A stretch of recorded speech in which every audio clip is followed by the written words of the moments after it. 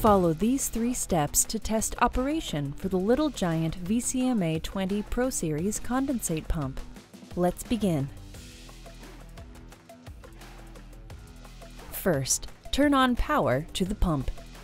Second, test the pump operating switch by pressing lightly on the external test run lever to start the motor.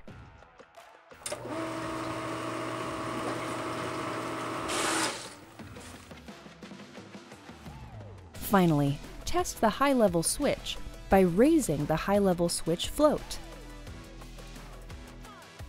If the switch is wired to the NO terminal, the air handling device should shut down when the float is raised.